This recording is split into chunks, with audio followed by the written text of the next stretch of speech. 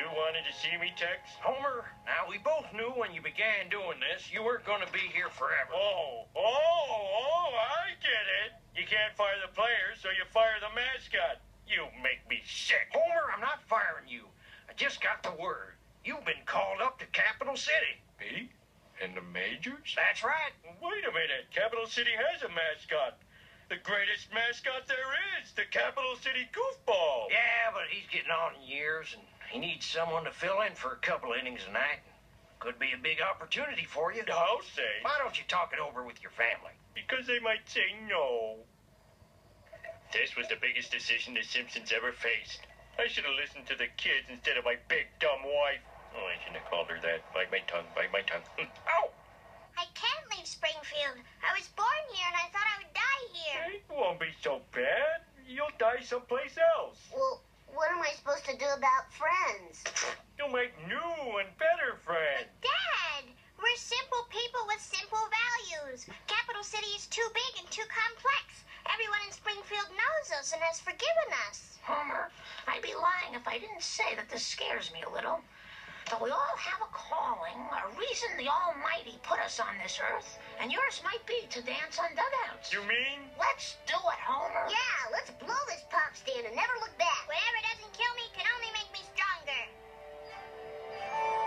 Not that simple. I've got to convince my supervisor to give me a leave of absence.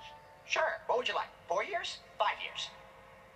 So, Simpson, you really moving to Capital City? That's right, Ned. and all this stuff is for sale, huh? You know, I, I don't know how to say this, but, uh, well... Oh, knock it off, Flanders. Don't start blubbering on me. I'm gonna miss you, too. Not. Well, I don't know, Bart. I mean, I'm gonna miss you and all, but... Come on, Milhouse, this way we'll be friends forever. Well, okay. I'm gonna miss you, Spit Brother. I'm gonna miss you, Spit Brother.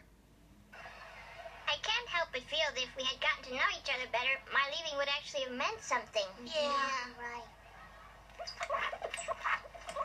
Well, we have one quick stop, and then it's on to Capital City. I can't believe it. My baby sister in the big city. I'll call you every day. I'll call you too. Look, he can use a horn. Oh, shut up. Some may say that I have been given a bad break in life. Little education, bald as a cue ball. Ten years on the same job for the same salary. But today, as I leave for Capital City, I consider myself the luckiest mascot on the face of the earth.